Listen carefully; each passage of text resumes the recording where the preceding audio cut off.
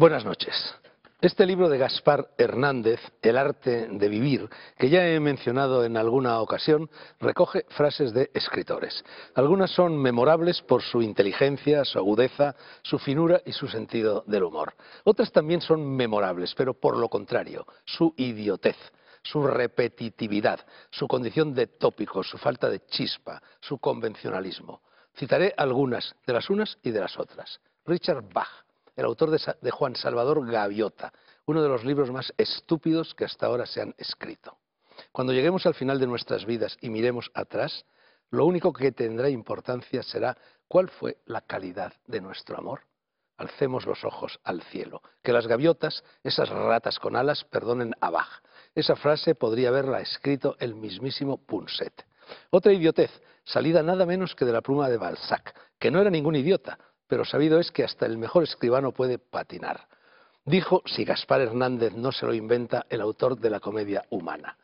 Lo más bonito de la vida son las ilusiones. Ilusión significa engaño, de donde se deduce que, según Balzac, la belleza consiste en engañarse o en engañar al lector. Es curioso, porque una de sus mejores novelas, muy cruel, se llama Las ilusiones perdidas. Otra idiotez de Balzac.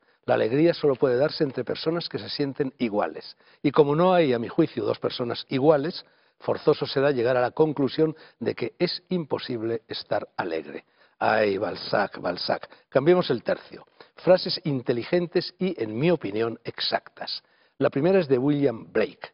La persona que jamás cambia de opinión es como el agua estancada. Su mente cría sabandijas, pues de sabandijas deben de estar llenas las mentes de esas personas que dicen, por ejemplo, que serán de izquierdas hasta la muerte o que son de derechas de toda la vida. Y la de quienes creen, por ejemplo, que el amor es eterno. Lugares comunes. Para terminar, dos aforismos de Albert Camus. No es difícil tener éxito, lo difícil es merecerlo. Aplíquense el cuento la mayor parte de los escritores que figuran en las listas de los más vendidos, no todos. Once de mis libros han repicado en ellas. Procuraré que no vuelva a repetirse. Segunda frase. Crear es vivir dos veces. Cierto. Creen ustedes si son capaces, pero no crean en nada, porque quien cree no verifica. Y para las certezas no hay más camino que el de la verificación. Lo dijo Buda. Comenzamos.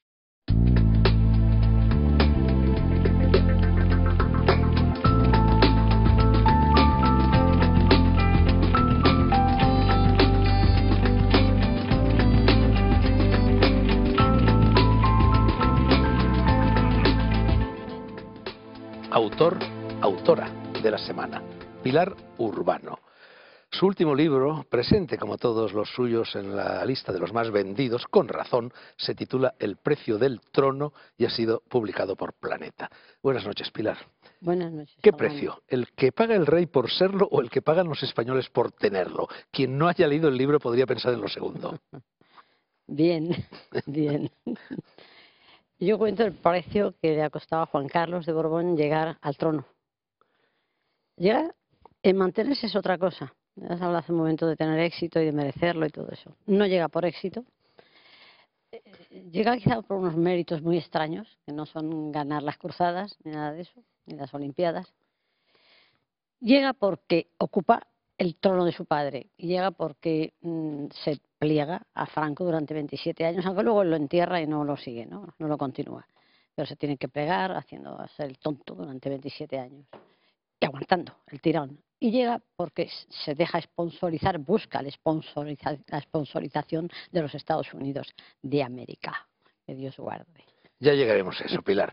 En la contraportada se dice informar con rigor, sin favor y sin temor esa fórmula, esa receta, es el secreto de tu éxito. Bueno, ese es el secreto del Washington Post, entre otras cosas. Y es lo que el Watergate, por ejemplo, ¿no? Y es lo que yo pretendo siempre, que es, mm, con rigor. Soy muy, muy perfeccionista, pero sobre todo muy buscadora de, la pieza que encaje en la otra, eh, la prueba, la verificación. Lo contrario de lo que has dicho hace un momento, la verificación. Y, y luego, eh, con rigor, sin favor detrás también dice la contraportada que no está hecho ni con el rey ni contra el rey.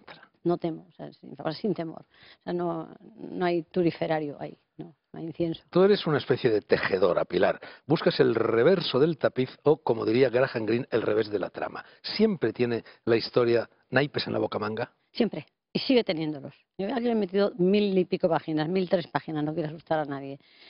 Y sé que esto es perfectamente mejorable, francamente mejorable. Es decir, que eh, aparecerán nuevas cosas, nuevos indicios, nuevas grabaciones, nuevos documentos desclasificados, eh, nuevos apuntes en los que a lo mejor Juan Carlos intenta negociar con, con la CIA eh, o, o, que, o con el Marqués de Villaverde y la CIA espía la retirada de Franco y aparece otro dato más. Siempre hay un dato más, un explosivo, porque saltó Carrero Blanco, etcétera. Siempre hay dato más. El rey te dijo, y citas esa frase al comienzo del libro, que era el sucesor de Franco, pero no su heredero. El matiz es importante. importante. Y tampoco su continuador, y tampoco su seguidor.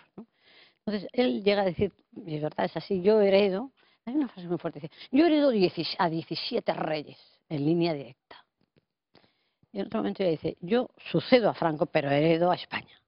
Esto suena muy patriótico, pero suena muy nacionalizar la monarquía. Otra cita inicial. Don Juan fue contrincante, leal y noble, dijo Juan Carlos, pero contrincante de su hijo. Otro matiz y matriz de peso. Y matriz, sí. Claro, es que mm, los dos querían lo mismo, lo mismo, decía la, princesa Sofía, princesa Sofía todavía. Ellos podían hacer juntos la paella, jugar al golf, jugar al waterpolo, montar a caballo, contarse chistes se lo pasaban muy bien. Pero el momento en que se hablaba de política, electricidad, se cortaba el aire. Y es que eran contrincantes. Dicho también por la reina Victoria Eugenia, dos culos para un mismo, asiento. La política española se decide ahora en Bruselas y sobre todo en Bonn. ¿Hasta qué punto, ya has aludido a ello, intervino Estados Unidos y Kissinger en el mecanismo de sucesión de Franco en los últimos pasos de quien aún era príncipe y en los primeros de quien ya era rey? Totalmente. Totalmente. O sea, que eh, hay un momento en que Juan Carlos se da cuenta. En el año 68 yo lo tengo documentado. Un documento que lo he dado ahí porque puede podía parecer paranoia de la autora. ¿no? Un documento con los garbanzos de, de, de Kissinger dirigido a cinco departamentos ministeriales de los Estados Unidos y al Club Bilderberg en el mismo documento. ¿no? ya apoyamos a, Juan Carlos y vamos a hacer un seguimiento de, la, si es válido o no durante cinco años. Pero es mm, totalmente porque mm, ellos a apostar hacia el futuro. No puede haber involución en España, no puede haber un dirigente tipo Carrero Blanco que provoque una involución o una revolución de izquierdas. Necesitan una España que se democratice, que, entre, que pueda entrar en la OTAN por entrar también en el mercado común, lo que existía entonces en la Comunidad Europea. Y esa es una apuesta de futuro, pero un futuro corto, un franco ya parkinsoniano. Entonces, esa baza la juega en Estados Unidos y la juega conscientemente Juan Carlos porque Juan Carlos sabe que es ahí fuera donde lo van a ayudar, no aquí. No es el búnker, no es Franco y no es su padre, ni son las izquierdas y eh, socialistas o comunistas que no tienen poder. Entonces, él mismo, hay una anécdota ahí muy simpática, que es cuando él pide tener como valija, como, como asistente, como enlace, a un coronel de la CIA, que es el coronel Bell, que es su, la leyenda es el instructor de karate. Luego tiene otro también de squash. ¿no? Es decir, él mismo se, mm, rodea de personas, embajadores americanos, y hace viajes, contactos con Nixon, contactos con Gerald Ford, contactos con Kissinger, para dar noticia de lo que piensa hacer, de lo que va a hacer. Pilar, volvemos un poco hacia atrás. ¿Es verdad que la CIA, jugando como siempre con varias barajas, adiestró a los maquis?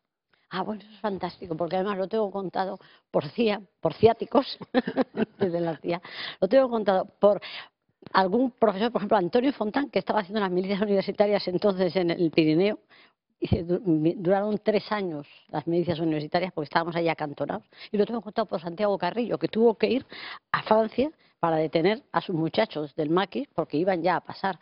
Y luego Foster Dales, el, perdón, Allen Dales, el hermano de, Foster, le, avisa a don Juan que va a haber unos focos subversivos. Claro, decía adiestrado por, por maquis adiestrado por decía porque es que son eh, los yanquis y los ruskis son compañeros de viaje en ese momento de la guerra mundial. Y entonces eh, e-, ellos son aliados, son aliados, son los extraños compañeros de cama que decía eh, Churchill. Bueno, e intervino la CIA mucho después en la voladura controlada de Carrero Blanco. No sé si tú has leído eso en el libro, sueles leértelos todos, pero si lo has leído a ti te ha convencido lo que yo explico. o, o- o quieres que yo convenza? Me ha convencido bastante. No Ah. es el único testimonio. eh, conocía también otros testimonios en el mismo sentido que el tuyo, ¿no? Pero Con- cuesta trabajo creerlo. Te convence, pero cuesta trabajo creerlo, ¿no? ¿Tú, tú conocías otros testimonios de, de esto? Me interesa mucho. no Bueno, hace poco ha salido un, un libro que se llama Escrito en un libro Sí. en la editorial Séneca, donde también lo cuenta. ¿Y cuentan el explosivo? ¿Cuál es? Eso, no, yo creo que no, no lo recuerdo. aquí lo más, lo más importante, aparte de los motivos que pueda tener, que son motivos de peso que pueda tener Estados Unidos para encargar a sus muchachos de la CIA y estos a su vez a sus subalternos. tú llegas a decir que ETA fue la mano material de Sí, la CIA, lo, lo dice el juez el instructor. brazo. El juez instructor Luis de la Torre Arredondo lo llega a decir. Dice, ETA fue el brazo ejecutor de la CIA. Dice tres, una, una gradación ahí, como te gusta decir las frases así. La primera es, CIA sabía que iban a, que a que iban a matar a Carrero. Bueno, pero una cosa es saberlo Saber- y otra... y otra cosa es aprovecharlo, ¿no? otra es, CIA estuvo detrás del asesinato de Carrero. Y otra es, ETA fue la- el brazo ejecutor, el brazo ejecutor de la CIA. Entonces yo ahí lo que sí que me he molestado durante 10 años hasta encontrarlo es el explosivo, que no es goma 2, que no es una dinamita, es trilita y es C4, no es XP del ejército español, C4 del ejército americano, un explosivo de al- detonador, de rompedor de alta potencia. Y luego el, el arma, que era un túnel en forma de T, y aquí lo, lo que se encontró fue un túnel en forma de L y de otras dimensiones mucho más pequeñas. Fue abreviado. Ese, en, en, alguna, en cinco noches disponibles bastaron cinco horas para abreviar ese túnel, o sea, para rellenar de tierra una de las aletas, una de las de la tilde.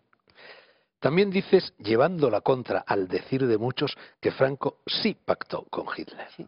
Y es que, claro, hay, ocurre lo siguiente, es que después de la Guerra Mundial, el MI6 británico entra en, en la Cancillería de Berlín y arrambla con un montón de documentos, entre otros el Pacto de Acero, con- donde está la firma de Serranos Unidos, ese es este el de Endaya.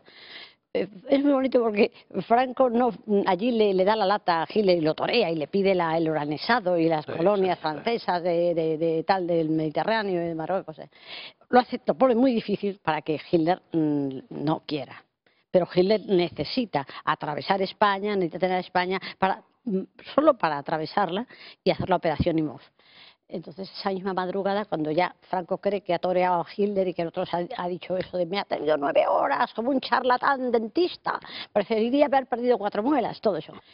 Eh, Franco se va a Yete a dormir y de madrugada y en pijama es cuando llega el balón de las torres y está Serrano Suñer, lo han contado los dos, ¿eh? por cierto, y también eh, Jiménez Caballero. Entonces, eh, eh, estos dos están ahí, aporrean la puerta, que Hitler está indignado, hay que firmar, hay que firmar, y esa madrugada se, Franco da el visto bueno al pacto de Japón, Italia y, Alemania, y se integran en el eje. Pasa que también firmó con Roosevelt, ¿eh? tan secreto eso como lo otro. España se mitificó, se mitificó este tema de lo de que Franco había engañado a Hitler y tal. No era cierto, es una mentira que yo aquí desmitifico. Y él, en cambio, Franco estaba muy contento de haber firmado con Roosevelt y decía, tenemos a América colgada de nuestros pies. Don Juan había financiado personalmente, parcialmente en la medida de sus posibilidades económicas, el golpe de Franco. Y Franco no se lo agradeció mucho. Alfonso XIII. Alfonso Alfonso XIII, sí. Da lo que un millón de pesetas, que yo lo, hago la, el trasvase, la, la extrapolación a, a pesetas, es una barbaridad de miles de a euros de hoy, ¿no? Una barbaridad de dinero. Y mm, sobre todo paga, costea los Saboyas, los aviones mm, bombarderos italianos, lo, llama desde Metterling, llama a, a Mussolini, le dice ahora, porque Mussolini dice, lo enviaremos, los enviaremos por barco. Dice, no, no, tienen que ir volando porque tienen que cubrir a Franco, al general Franco, para el paso del estrecho. O sea, ya está desde, desde el inicio del golpe de Estado, está, Alfonso XIII quiere un golpe de Estado de guantelazo, en mesa, no una guerra, no una guerra civil, y cree que Franquito, cree que Franquito va a ser así, expeditivo, rápido, de Marracota, echar al gobierno de Azaña y devolverle la República. Devolverle la corona, no la república. Perdón, devolver, sí, quitar la corona a la República y devolver la corona. Entonces, cuando al final de la guerra, el último parte, eh, Franco le va informando, porque, porque va recibiendo dinero también, ¿no? Y va recibiendo ayudas, muchas ayudas. Pero el último parte, el de España, cautivo, derrotado, el la, guerra termina, español la guerra ha terminado, los, eh, tomados los últimos objetivos, bueno, ese no se lo envía. Y esa noche, en el gran hotel allí de Roma, su hija Cristina, Crista, le dice, papá, desengáñate, el gallego no, no cuenta contigo. Entonces, final de una historia. Los Borbones siempre vuelven. Así se llama, así se llama uno de los capitulillos de tu libro. Es cierto. Fernando VII, Alfonso XII, Juan Carlos I. ¿Por qué? Pues yo creo que es algo los gallegos que tienen tendencia a la tierra. Los vuelven, los vuelven, ¿no? Unos vuelven y otros son vueltos. Los otros son vueltos. Alfonso XIII vuelve, lo trae, así empieza el libro, con una, una evocación larga de doscientas y pico páginas, de una travesía. Está don Juan, papá, te juré que te volví a casa y te vuelvo a casa por donde saliste. Y lo trae a Cartagena, por Cartagena, al Escorial. Bueno, ese es un tiempo, es una especie de recurso literario para que haga una evocación de cómo se pierde el trono, cómo se recupera, cómo lo recupera su hijo, cómo se lo esclamotea Franco, el- la esgrima esa verbal que tienen sobre papel, ¿no? Eh, a, a golpe de, de tinta durante todos esos años, o sea, desde el año 41 hasta el año 69, en que don Juan, don Juan ya dice ya no le escribo más, a este hombre ya no le escribo más, a Franco. Una tensión una- una muy fuerte, muy educada, muy cortés, pero se dicen verdades de apuño, ¿no? Y son, son enemigos. O sea, Franco y don Juan son enemigos. Es la gran oposición que tuvo Franco fue don Juan, ni, ni socialistas, ni comunistas, ni, ni Federico Semprún. Es curioso esto de que los Borbones siempre vuelven porque Prim, en su famoso discurso de los tres jamases, había gritado jamás, jamás, jamás, mientras yo viva, reinarán en España los Borbones. Y se trajo a Amadeo de ya. que no cuajó. esa estampa de Amadeo mm, ante el féretro de Prim, es- en este libro yo la, reme- la pongo en, en memoria de, en la mente de, de Juan Carlos cuando Carrero está de, de cuerpo presente. ¿no?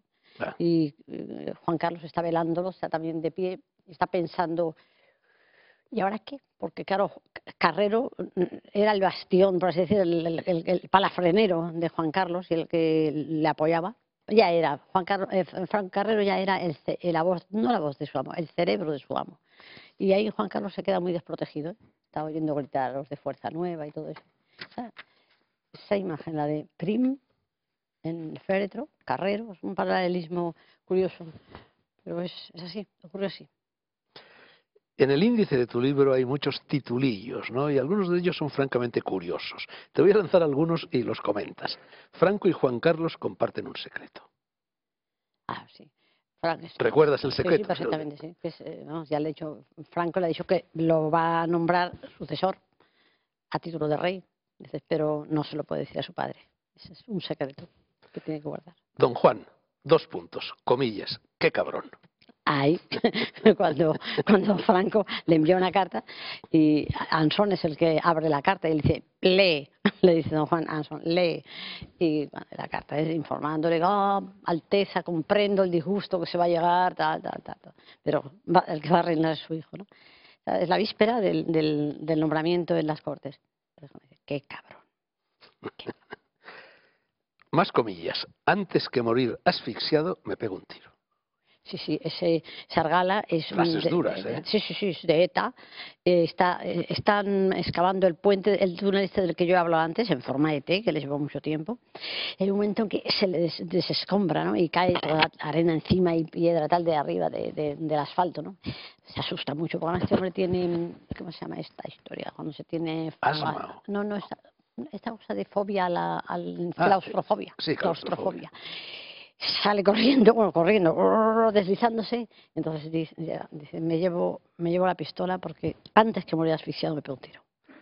Son, son, eran asesinos suicidas también. Una tendencia tenían. Ford sugiere, Ford, el presidente de los Estados Unidos, no A el ver, fabricante de coches, Ford sugiere a Franco invadir Portugal. Ah, Eso es muy tremendo. Así como suena. Sí, sí, así como suena.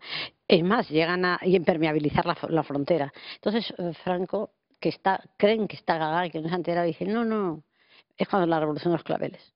Porque dice, además dice, es que el contagio comunista es fácil. Tienen ustedes que impermeabilizar la frontera y no estar dispuestos a actuar, a intervenir. Franco dice, no, no, en Portugal no pasará nada. Son gente muy sensata y les gusta ir de tiendas. Pero has dicho Ford, no el industrial. Ford, el industrial. También metió baza. No, no, Ford el industrial tiene una intervención fantástica para que aquí haya un trono, una monarquía y una democracia. Hay un momento en que el Bilderberg Group, yo sé que tú conoces Sí, esto sí, mucho y te interesa y conoces a Nuestro bien común amigo. Daniel Stulin. Hay un momento en que el Bilderberg Group dice hay que democratizar España. Y entonces uno de los miembros dice sí, pero habrá que capitalizarla antes. ¿no? Bien. Entonces, sobre todo para, para mm, blindarla contra el comunismo, capitalizarla. Y el primero que da el paso es Henry Ford II, que viene a España, habla con, con Juan Carlos, tiene una conversación con él y le chequea de futuro. Le dice, "¿Y usted no se le llama Alteza, usted señor, ¿qué va a hacer? Cuando Juan Carlos le garantiza que va a hacer democracia, democracia y, y que su idea es ingresar en el mercado común y por tanto ser un comprador más, un cliente y un vendedor más, entrar en el circuito económico europeo. Esto es lo que dice la Junta de Accionistas. Señores, voy a- vamos a invertir en la, posiblemente en Almusafes. Es la planta Ford. Y ahí empieza. Otro capitulillo, Pilar. El príncipe contacta con Carrillo. Muy bonito. En la- el Salón de Le Vert, Berthe, en, París, él envía como emisario a alguien tan poco sospechoso como el, sombrero, el sobrino de Franco, Nicolás Franco Pascual de Povil, para que le diga a Carrillo que él va a hacer democracia, que legalizará los partidos, todos los partidos, pero que no, que no, que no presionen y que no monten algaradas en la calle. Juan Carlos tenía, como Franco, el temor de que hubiera mucho comunismo. Y los Estados Unidos también. Hasta que llega un momento que mm, deciden que es mejor contarlos. y que eso se cuenta en las urnas. Siempre, bueno, siempre no, pero a partir de un determinado momento siempre hubo tres nombres, tres bolas en los malabarismos sucesorios de Franco. Don Juan, su hijo y Alfonso, el primo de Juan Carlos. Realmente esto pudo ser el malabarismo en el año. Curioso a don- trío, ¿no? Sí, a don Juan nunca lo, lo tuvo. Siempre, desde el año 43 en que hizo el. Descartado por lo descartó, completo. el momento en que él dijo que él no A pesar de las continuas esperanzas que... Sí, pero bueno, cuando le ofrece venir aquí como príncipe a la espera y con estatus de Alteza Real y Casa Civil, y- y- pero tiene que hacerse del movimiento, jurar las leyes del movimiento. Por eso luego, luego don Juan, don Juan dirá después, para esto yo podía haber sido rey mucho antes. Don Juan contesta, yo no puedo ser el rey de un partido, no puedo ser el rey de los falangistas, el rey de los vencedores, yo tengo que ser el rey de todos. Segundo, yo no puedo entrar de príncipe, tengo que entrar de rey, soy el rey. Y tercero, cuarto, tercero, si yo, si yo voy, usted se tiene que ir. Y cuarto, nada de casa civil para estar a la espera. En mi casa tenemos la costumbre de que los reyes, si no trabajamos, no cobramos. Juan Carlos, me acogota la pena de muerte. Eso lo dijo, y es verdad, y le acogotaba, y le acogotará, y le acogota. Pero estuvo en el balcón, eso lo dijo cuando tuvo que estar en el balcón del Palacio de Oriente, detrás de Franco, en octubre de 1975, un Franco que ya es la última aparición pública, pero tuvo que estar detrás porque se lo jugaba, si no. Luego lo dijo, a mí me acogota la pena de muerte.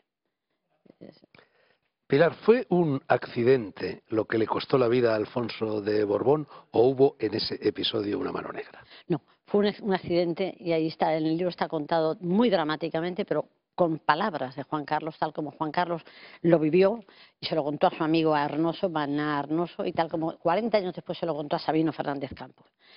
La mano esa fue la sospecha mm, negra, como todas las sospechas, durísima de don Juan, cuando le dice, júrame que no lo has hecho a propósito.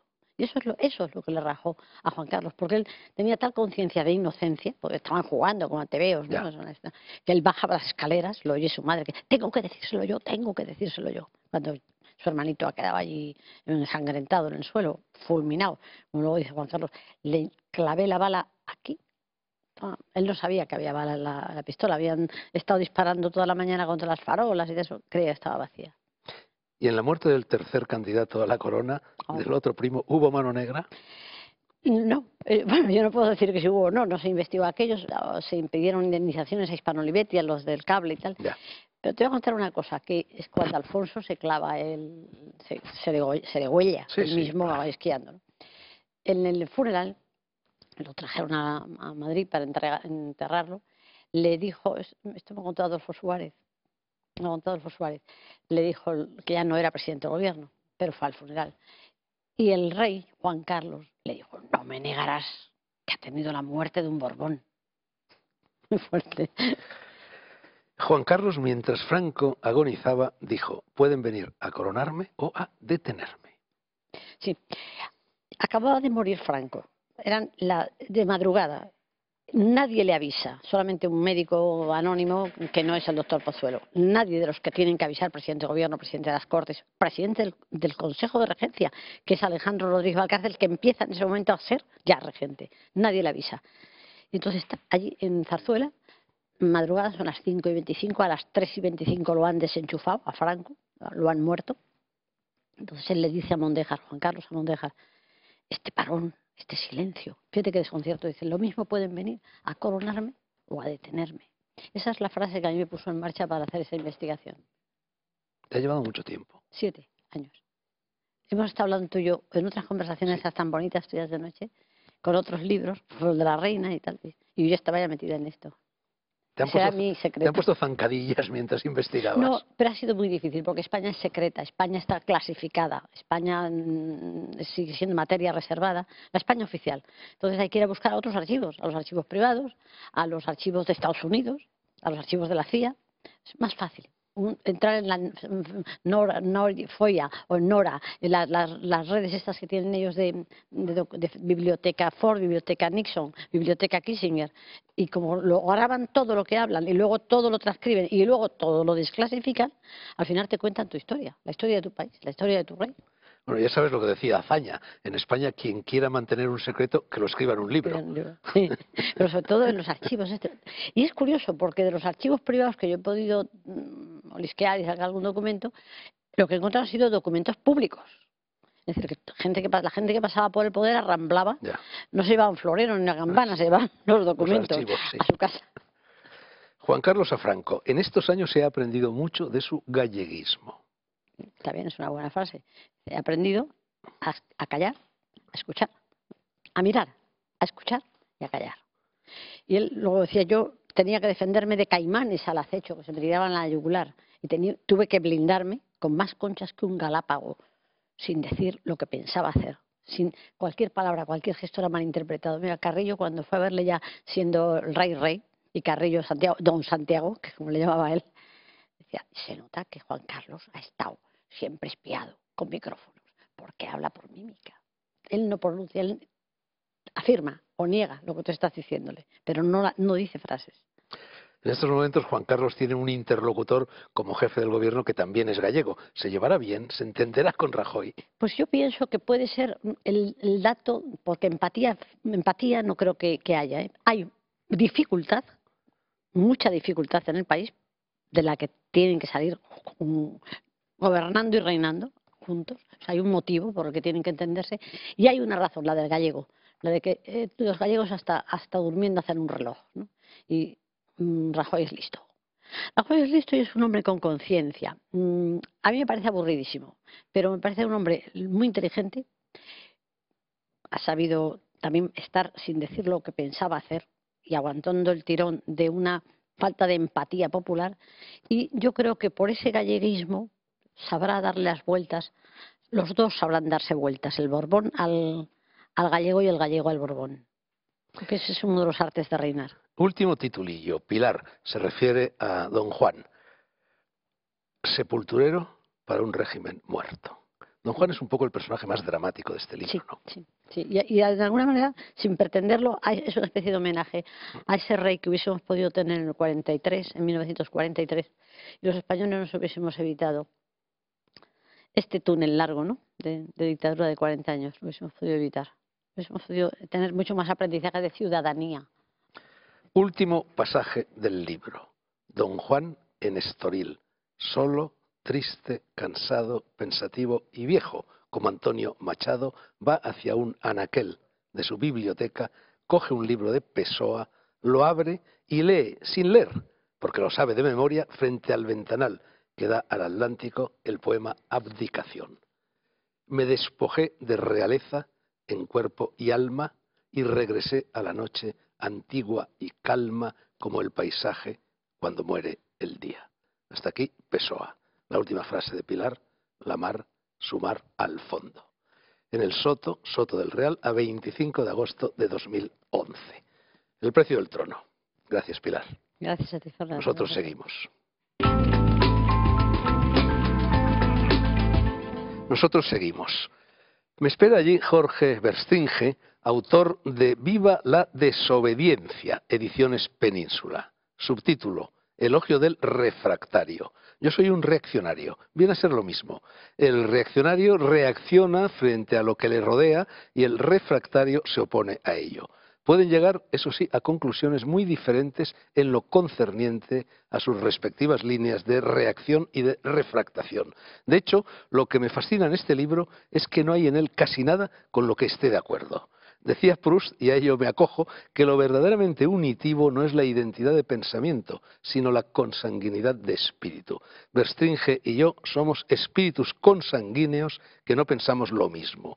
Busca tu complementario, escribió Antonio Machado, que marcha siempre contigo y quiere ser tu contrario. Buenas noches, Jorge. Desobedecer por desobedecer puede ser una actitud un poco infantil, ¿no? No, no, no. No, no, no es que en este caso no es desobedecer por desobedecer, es que en este caso es o desobedecer o morir. Estamos en un régimen de, austeritario, un régimen austeritario, ¿verdad? donde vamos a una serie de sanguijuelas, buitres, vampiros, eh, esquilmadores de todo tipo, ¿verdad?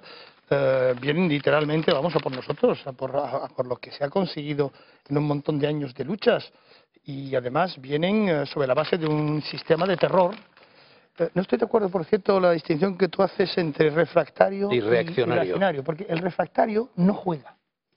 El refractario sale del juego. ¿Y el reaccionario sí juega? El reaccionario sí juega, al igual que el progresista juega. Pero el refractario no. El refractario mira y se va. Bueno, no nos enredemos en bizantinismos terminológicos, Jorge. Tú dices que la desobediencia es la única alternativa que les queda a los europeos. ¿Fuiste el 15 de mayo a la Puerta del Sol? Sí, claro. ¿Estabas allí? El 15 de mayo no, pero después fui. Sí, muchas veces además. ¿Por qué? No, no, es una frase muy de aquellos días, ¿no? Sí, bueno, pero es muy actual, ¿no? Pero vamos a ver, ¿cómo no desobedecer cuando uno ve, por ejemplo, que cuando la gente enfadada, por ejemplo, porque parados no se les permite ni viajar gratis por el metro, se encuentran con que la policía recibe la orden de atizarles, mientras un banquero, cuyo nombre es bastante conocido porque ilustra bastante bien su función, que se llama Botín, se permite el lujo de decir que es que los políticos han hecho mal cuando los políticos le acaban de amnistiar a uno de sus eh, colegas, colaboradores, eh, en fin, que estaba a punto de ir a la cárcel, vamos. Bueno, Jorge, yo no estoy aquí para discutir. Estoy solo para preguntarte cosas y para aguijonearte. Ya te lo he avisado. Ya has empezado. Frase literal. Y que no nos tuya. Y que no nos vengan con que a nosotros los de a pie, los explotados, los ninguneados, somos los malos. Eres tú de a pie. Estás explotado, te sientes ninguneado. claro que me siento Porque utilizas aquí un plural. Sí, sí, sí, sí, claro que sí. Y claro que me siento explotado, claro que sí.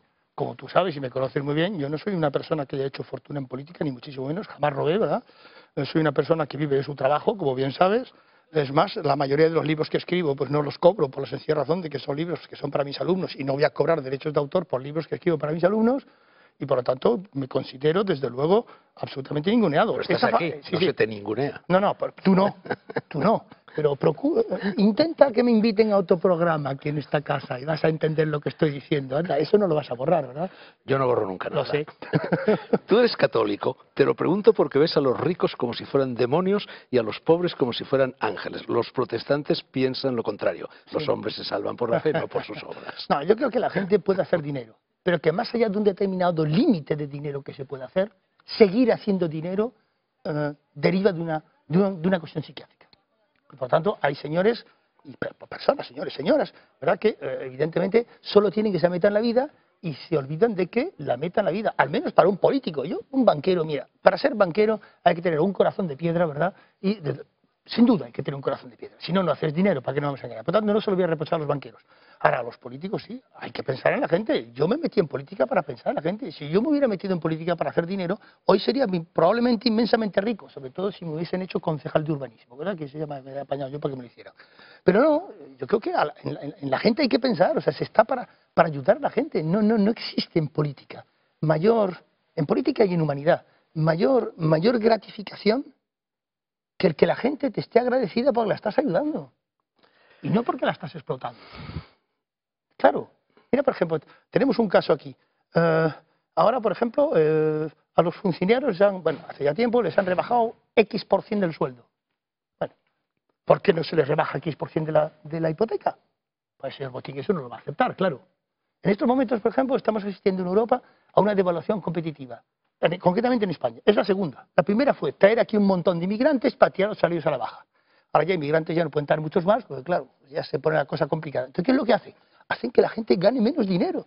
O sea, se trata de abaratar el trabajo de tal manera que España pueda competir internacionalmente exportando.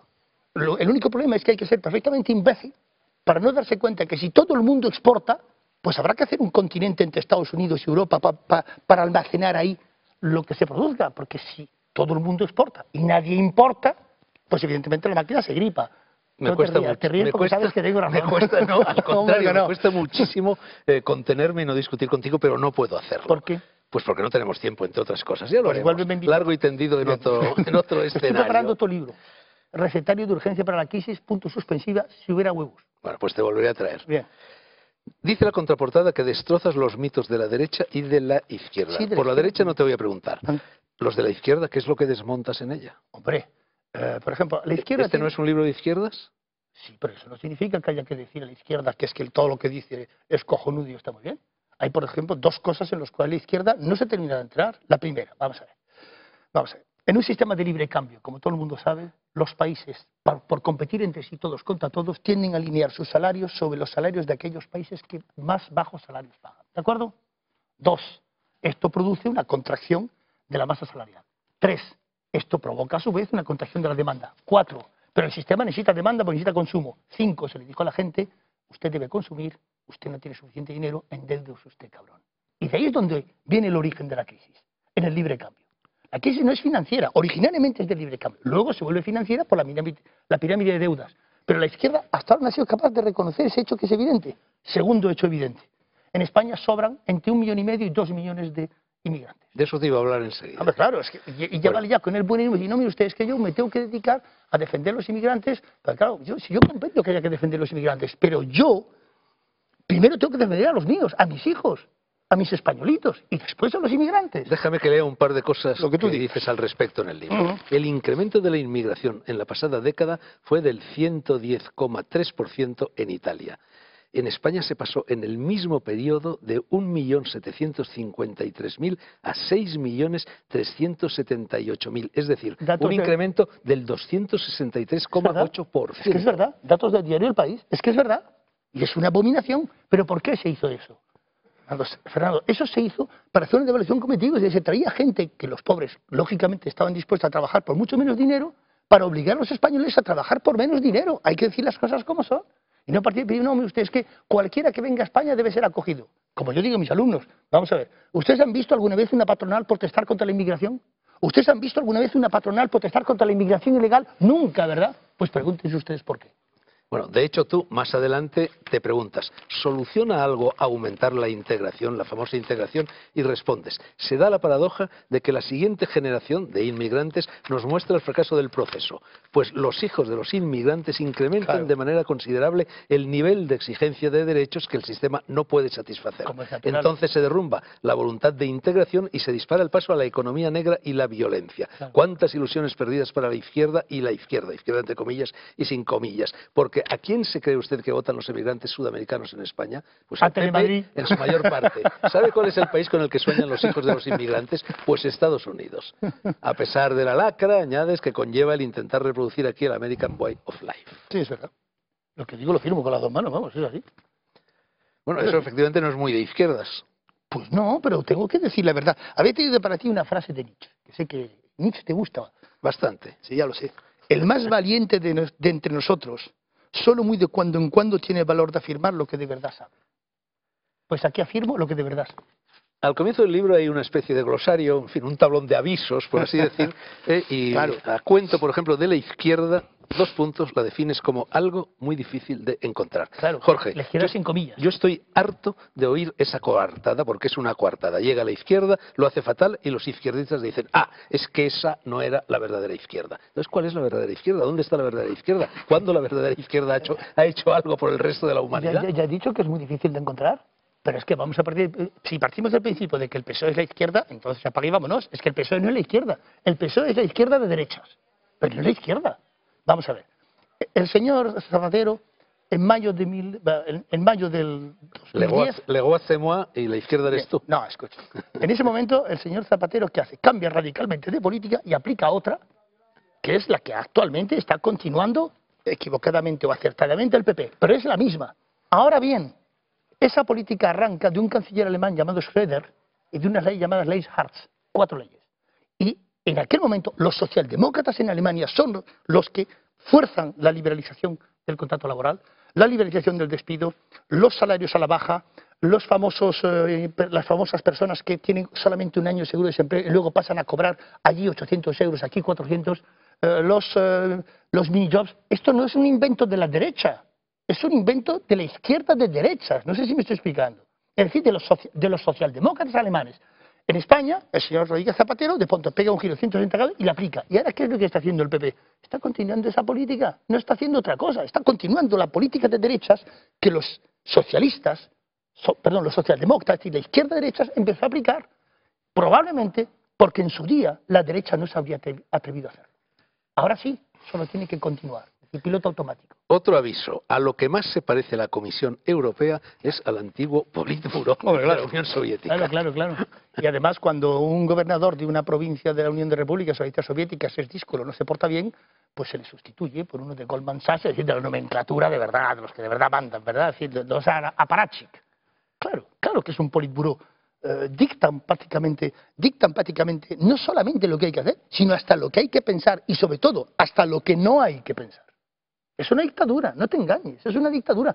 Y si no, pregúntaselo a los griegos, pregúntaselo al señor Papandreou, pregúntaselo al señor Berlusconi. El señor Berlusconi podía tener todos los defectos del mundo. Tenía, sin embargo, una ventaja, le habían votado al tipo que le ha sustituido, le ha votado la Comisión de Bruselas y Goldman Sachs. Y eso es intolerable, porque es un golpe de Estado económico, donde una legitimidad democrática económica y política es sustituida por un dictat es decir, por una imposición de Bruselas. Pero ¿quién coño es Bruselas?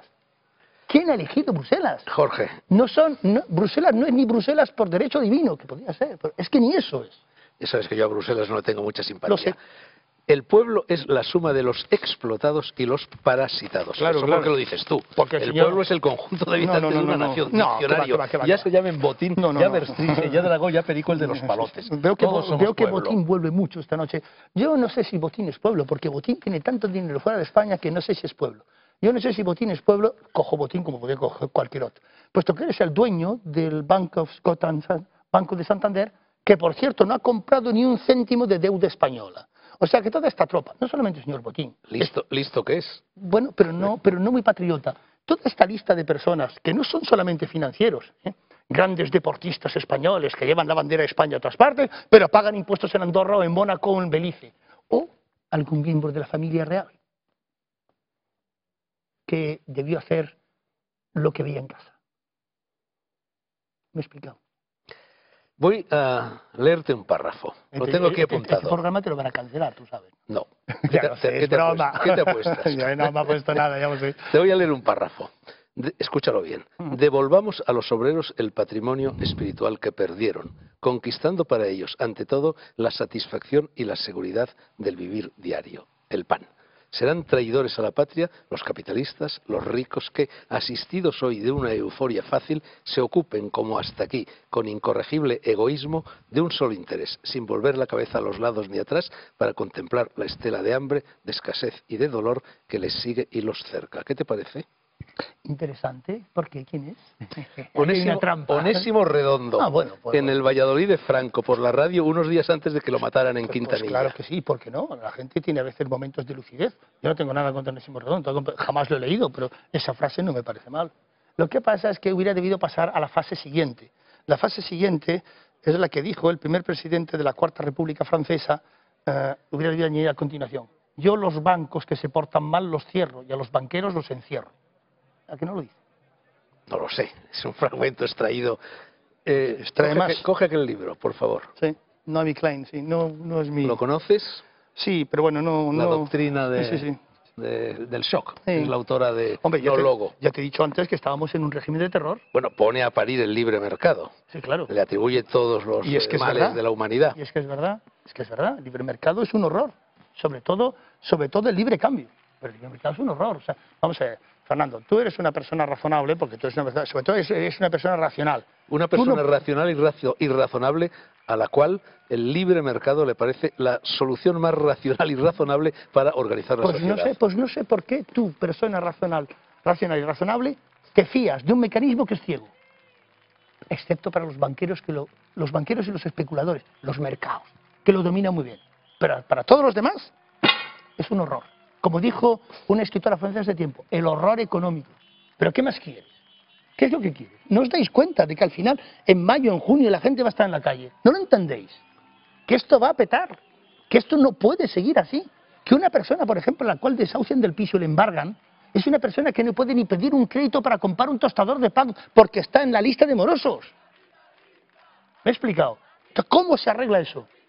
Yo le hice, una vez una propuesta a un ministro so- socialista, bueno, socialdemócrata. Le dije, viene usted, proclamen ustedes el estado de excepción económica en el ámbito de la vivienda, suspendan ustedes el pago de las hipotecas hasta que el gobierno reconozca que hemos salido de la crisis, no suspenda usted el pago de intereses, pero aplace el pago de la hipoteca. Contestación. ¿Y quién va a darle el dinero a los banqueros? Los banqueros no han parado de forrarse en este país, vamos, de siempre. Pero de un tiempo a esta parte ya lo llevamos, ¿verdad? Jorge Berstringe, viva la desobediencia. Gracias Jorge, genio y figura. Sigue desobedeciendo. Yo también lo haré. Para demostrarlo, me voy a tomar ahora un sorbito de whisky de aquella petaca. En Telemadrid, como en el resto de las televisiones, hay ley seca. Publicidad.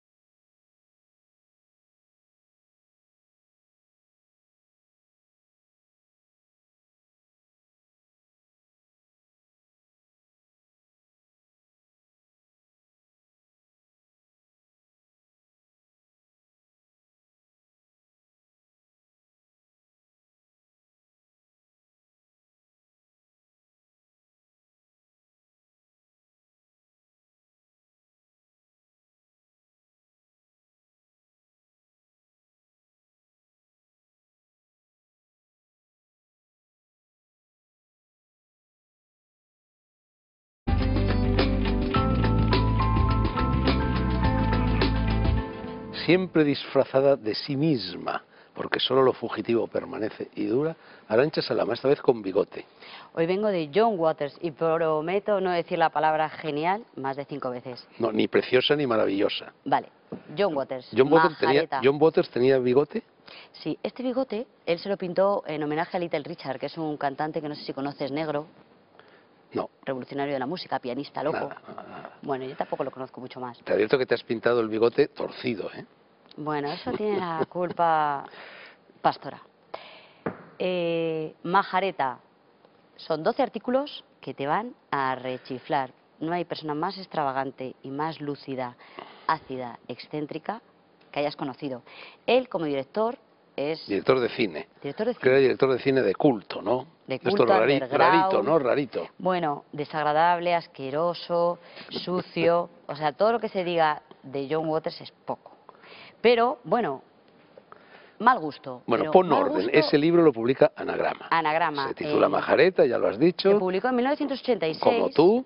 Y con ¿eh? la vuelta, de, de- con la venida de John Waters a, a Madrid, porque hicieron Ah, Estuvo en Madrid el año pasado, el año pasado. hicieron una retrospectiva de tres de sus películas que yo no he sido capaz de terminar de lo asquerosas que son. ¿Fuiste al cine? No, porque estábamos grabando, no Ah. pude. Pero en 1986 publicó este libro, que en su momento fue un escándalo y era imposible de leer. Ahora, ¿Es un libro de qué? ¿De fragmentos? ¿De qué? 12 artículos Ah, lo has dicho, sí. periodísticos, que eh, en general dice unas cosas tan macabras. ¿Por qué fue un escándalo?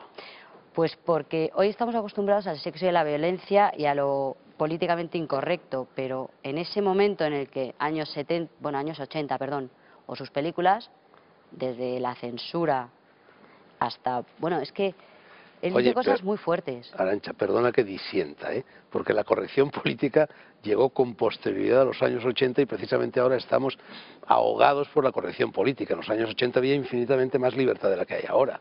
Sí, pero me refiero, por ejemplo, voces como John Waters o, por ejemplo, Almodóvar con la película de Pepe Lucibón, Meando o cosas así, en general eso no, no era muy aceptable. El mal gusto no, no era, o, o lo no convencional, travestis, las putas, Bueno, pero oye, eh, Almodóvar, precisamente travesti, Pero mucho bailaba más tarde. eh, vestido de mujer, en Rocola, Pepi, el Lucibum de todo. pero en los 80. En los pero años este hombre 80. en los 70 ya todo su imaginario estaba en la palestra, en sus películas. Pero bueno, Este hombre vive. este hombre vive, debe tener como, bueno, es del mismo año que Patti Smith, del 46, o sea, debe tener Como tú. Es más joven que tú. ¿Qué te iba a decir? Bueno, he traído este libro, que fíjate que Es me también dices- de John Waters. No, este es de muy, perdón, es de muy mal gusto. Este libro es... Bueno, todo lo que llama- traes hoy es de mal gusto. Claro, películas de mal gusto. pero este es de mal gusto de tirarlo al cajón. Se llama ¿Por qué los hombres no escuchan y las mujeres no entienden los mapas? Bueno, es que estoy mirando a ver si está el gato, porque el otro día por tirar Ya. un libro nos cargamos al gato. Me lo cargué yo, a ver. Bueno, ya Así.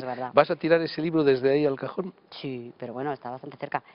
Me lo he traído porque es un libro con tantos tópicos sobre los hombres y las mujeres que, bueno, como tú estás un poco carca, igual estás bastante de acuerdo, porque tu generación, yo creo que sí que realmente hay muchas diferencias entre hombres y mujeres, pero la mía y la que viene después, yo creo que los hombres son bastante, o tienen cualidades femeninas, ¿eh?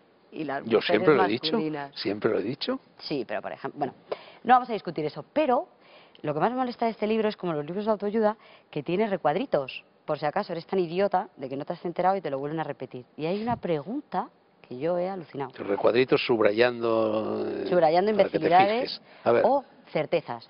Dicen, los hombres suelen bautizar a sus penes con algún nombre porque no les gusta que un extraño tome el 99% de, de sus decisiones por ellos. ¿Tú le has puesto nombre a tu pene? jamás. Ni, Por eso te ni digo. yo me lo he puesto ni nadie se lo ha puesto, que yo sepa. Y yo he preguntado Pues es, una, to- a eso es una 200 tontería. personas, Pero ¿quién es ese? No importa el nombre. no importa el nombre. No, no, porque es que es un horror de libro, es tan americano, es, tan... es un americano. Creo que son dos hermanos que luego al hablarlo con Eva, producción, pues creo que es Ana no sé qué y algo de Face, no lo sé, pero quien lo quiera buscar pone ese título Bueno, tan idiota. Pues esto de que los hombres ahora son femeninos y las mujeres masculinas, tú con, eso, con el bigote ese resultas bastante masculina, ¿eh? Claro, porque ya te digo que tenemos las mujeres, hoy en día nos podemos permitir cualquier cosa. De hecho, eh, Hoy día y toda la vida. bueno, ya, pero Bueno, bueno, venga, no vamos a discutir por eso. ¿Qué más tienes que decir sobre John Waters? bueno, John Waters... hacía Juan una- Agua. Eh, no, creo que significa otra cosa, pero no me voy a acordar ahora. Eh, John Waters lo que hacía era, sobre todo, bueno, es famoso por sus travestis, Por sus disfraces. sí, Pues como tú. pues más o menos. Entonces, Eso que es una fusta. esta es una fusta de plumero. Que entren mis secuaces. A ver, está la crisis tan, tan grande que solo tengo va- presupuesto ¿Me, me va a hacer algo? para un sicario. Sí, necesito que por favor... ¿Ella o tú? Ella, que, que le ates al sofá. Juro que esto no Porque estaba te voy a- previsto, ¿eh? no. Sorpresa, no Te tenía voy la a más mínima convertir- idea. En Divine. Tú sabes que esto nos cuesta aparecer por todas partes. No importa. Te voy a pintar las uñas. Voy a das- empezar Oye, pintándote las uñas. No tienes tiempo, se está acabando el tiempo. Ya lo sé. Termina. Termina mi duelo literario y Drago Queen, si se porta bien, continuará A en la ver. siguiente sección. Dragó Queen en la siguiente sección. ¿Me vas a quitar luego con esmalte todo eso que me estás poniendo? No. ¿Y con qué me lo quito? Bueno, Fernando, Sí, existen ¿no? quitas maltes muy buenos en el mercado. Sí, pero yo no tengo. Ya Sí. está, con cuatro dedos voy que ardo. Yo creo que sí. Bueno, ¿y esto qué tiene que ver con John Waters y qué tiene que ver con los, Pues John los Waters es muy famoso por sus travestis.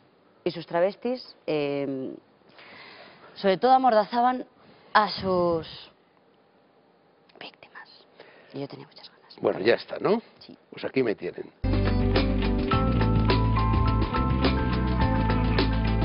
Hola, Yanta. Buenas noches. Buenas noches, padre.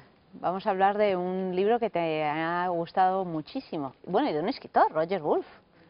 Un escritor, eh, muy buen escritor. ¿No lo has ¿eh? traído el libro? Porque lo tienes Sí, todo tan sí, sí, lleno no, de señales claro, lo para, tengo, lo tengo para. Sí, que, que vean cómo... Es que es un libro que llevo ya viendo como uno o dos años por ahí que lo llevas como la Biblia. Siéntate y escribe. No, uno o dos años, no, un- unos cuantos meses. ¿Sí? Lo Este leí- verano lo tenías en Castelfrío. Sí, lo leí en el mes de junio, así, Siéntate y escribe de Roger Wolf. Y ya solo la, la foto de la portada es una especie de Humphrey Bogart así rompedor. Es un poco rompedor. Es un claro ejemplo de cómo el nombre marca, ¿eh? Wolf, lobo, ¿eh? Es un lobo estepario, es un... ¿eh? Sí, bueno, eh, parece como si perteneciera a esa generación de escritores malditos, ¿no? Bukowski. O... Este es un libro sobre todo para escritores, ¿no? De, bueno, de hecho se llama Siéntate y escribe, ¿no?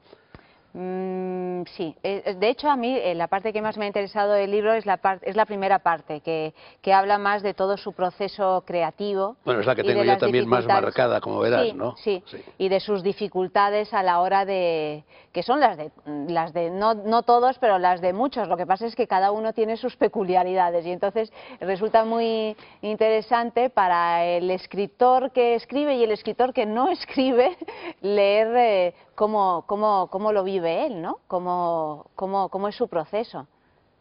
Está escrito con muchísima, desde luego, con, con humor, con inteligencia y con un No, cinismo es que enorme. Me estoy riendo porque tengo aquí una anotación que he escrito. Suscribo todo. digo, no, suscribo todo lo que se dice en este libro, menos lo del tabaco, porque Roger es un fumador empedernido. Bueno, de hecho, en la además portada sale pecho, fumando, sí. ¿no? Y- y además hay y de Madrid, referencias- ciudad que le gusta muchísimo Sí. y que a mí no me gusta tanto. Pero además hay referencias continuas eh, al, al tabaco, al placer del tabaco sí. y a la indignación por la prohibición del tabaco. Pero tú tenías algún reproche, me sí, tengo, que tengo reproches, ahora no, no, no, no tengo señalado dónde. Bueno, pues eh, por, digo, por eso digo que me interesó más la parte de, de su proceso creativo que el otro, porque tiene muchos comentarios muy displicentes hacia las mujeres. Lo que pasa es que me aburre hasta hablar de este tema, fíjate. O sea, me parece ya que es algo ya tan trasnochado, eh, el- lo de hacer distingos entre la inteligencia de los hombres y la de las mujeres, es como hablar de los toros. Pues me parece muy bien. Si este señor piensa que las mujeres somos medio lelas, pues, pues muy bien, porque piense que somos medio ¿Tú, lelas. tú- tú crees que piensa eso? Bueno, oye, dice algunas cosas que son verdaderamente No, curiosas. hombre, yo ahora ¿eh? lo leí hace Sí, unos además, cuantos meses. porque se te, se te olvida, pero yo recuerdo que, que en Castilfrío me, me dijiste, mira, mira lo que dice de las mujeres, eso todo contento eso y chinchar, ¿no? Bueno, Por pues chinchar. eso, quizá él también lo haga por, por chinchar, ¿no? Pero bueno, realmente es lo que menos me interesa de... No, pero yo, bueno, lo leí hace varios meses y no recuerdo exactamente lo que dice, pero eh, creo que lo que él reprocha a las mujeres fundamentalmente es que por culpa de las mujeres se ha trivializado la literatura. Es decir, por la manía de las mujeres de leer novelas, de leer novelas, hombre, pues en fin, sentimentales, más bien aculebronadas un poco, y que entonces la atención del lector se ha ido desviando poco a poco pues hacia ese género, ¿no? Yo creo que esto eh, es una de las cosas que reprocha a las mujeres. Hay reproches de ese tipo y también hay reproches... Y no deja de tener algo de razón. También hay re- reproches en, en, eh, su manera de, encarar la sexualidad o la, vida cotidiana. No, no, ahí yo creo que hay un, un abanico bastante amplio.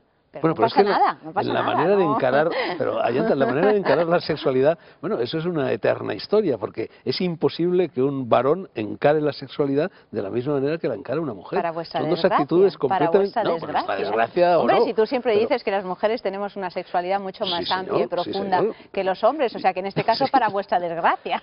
Bueno, pero eso es una opinión mía. Yo siempre he tenido envidia de las mujeres, he tenido siempre la impresión de que las mujeres os lo pasáis mejor en la cama. A lo mejor no es cierto. ¿Tú tienes esa impresión? Mira, no lo sé, yo qué sé. Yo creo que, que lo, lo- lo- lo bonito es el misterio que hay y la diferencia precisamente entre, entre lo masculino y lo femenino. Y creo que en cualquier caso se complementa. O sea, que es completamente estéril hablar a estas alturas realmente mm, en- en- de, de este tema. O sea, Bueno, por lo que yo te recomendaba la lectura de este libro, que te lo recomendé muy vivamente este verano, es porque, bueno, tú eres escritora. Y entonces yo creo que yo este soy es una un libro... escritora que no escribe. Casi todos, los, poco. casi todos los escritores tienen un periodo en sus vidas así. Yo también lo tuve. Henry Miller, del que hablábamos el otro día, imagínate. Henry Miller arranca a escribir, también era escritor desde siempre y arranca a escribir muy tarde. Sí. Eso no pasa nada. A los 40 años es muy raro que se escriban buenos libros, ¿no? Sí. mm, Pero este libro te ha enseñado cosas como escritora, te ha removido cosas, te ha hecho saltar en el asiento. Eh, eh, sí, o sea, hay, hay, sobre todo porque hay una experiencia común, ¿no? En el, cada uno lo vive a su manera, es evidente, ¿no? Roger Wolf, eh, tal y como lo relata, es una situación muy angustiosa, la de la página en blanco, ¿no? No hay una serenidad en el momento de escribir. Cada uno tiene su, su manera, ¿no? Pero, pero, pero claro, dice cosas que te hacen reflexionar y pensar, sobre todo en relación al, al proceso creativo, ¿no? Y también es muy interesante descubrir qué diferentes pueden ser. Es prácticamente, un, es prácticamente un coetáneo tuyo, casi, casi. Tiene cuarenta y tantos. ¿no? Bueno, él nace en el 62, eh, tú naces en el 69, Hmm. eh, pero tenéis algo en común. ¿Qué? A ver, ¿qué? No lo sé. A pesar de que lo notes tan distinto a lo a ti. no, no, sí me, me- me ha dejado fascinada este hombre. No sé, a lo mejor le conozco y me enamoro de él. No lo sé, ¿qué tenemos A en pesar de lo que piensan las mujeres. Sí, porque hay que hacerle cambiar idea. o Te- no. Tenéis ¿Qué en, da? común, tenéis en común una infancia alicantina. Es verdad, tenemos en común una infancia alicantina. Tenemos en común un bilingüismo, que es un problema para el escritor. Es decir, él es bilingüe con el inglés. El problema de elegir en qué idioma escribir. Sí, a ti te pasa con el Con italiano. el italiano. Tenemos que terminar, pero te voy a contar una última cosa sorprendente que me pasó. Cuando yo estaba leyendo este libro, de repente me entra un correo. Un correo de Roger, que es buen amigo mío, yo le estimo muchísimo, donde me pide ayuda para editar un libro de memorias que acababa de escribir. Y bueno, yo le digo, bueno, pues haré todo lo que pueda, tal cual. Y, y le digo, ¿cómo se llama tu libro? Y me dice, Esos días azules. Yo, 24 horas antes, acababa de enviar a mi editor, a Planeta, un libro de memorias que también se llama Esos días azules. Y le dije, Roger, no puede ser, llegas tarde. ¿Y lo ha tenido se- que cambiar? Ha tenido que cambiar el título, claro. Ah, eso Es duele, curioso, ¿eh? es Eso curioso, duele. ¿eh? No, Pues sí. duele, oye, duele y al mismo tiempo sí, sí, gusta, es ¿no? una Esa sincronía, hermandad, ¿no? Eso, sí, sí, sí. desde luego. Bueno, se nos ha acabado el tiempo, Ayanta. Se nos ha acabado otra vez. Roger Wolf se denomina a sí mismo como un escritor total. No hay género que no haya tocado. Ensayo, relatos, diarios. Tiene en su haber un libro de poemas cuyo título, Noches de blanco papel, bien podría ser el subtítulo de estas noches blancas. Una de sus poesías dice así. Tú contra el mundo y el mundo contra ti. Y en esta guerra solo hay una cosa que es segura. Aquí va a haber un muerto. Y otra, un poco más alentadora, que se titula 41 años. El adagio para cuerda de Samuel Barber en la radio. Té con leche en porcelana inglesa. Buen tabaco holandés. Por la ventana abierta, los lentos ocres de un crepúsculo de junio sobre el que vertiginosos vencejos trazan sus elipses de silbidos. El tiempo se ha parado, como quien se detiene a mirarse un instante en un espejo. No creo verdaderamente en Dios, pero aún así le doy las gracias por los 41 exactos años que me han hecho falta para vivir la intransferible plenitud de este momento. Pues lo mismo hacemos nosotros. Buenas noches y gracias. La semana que viene más.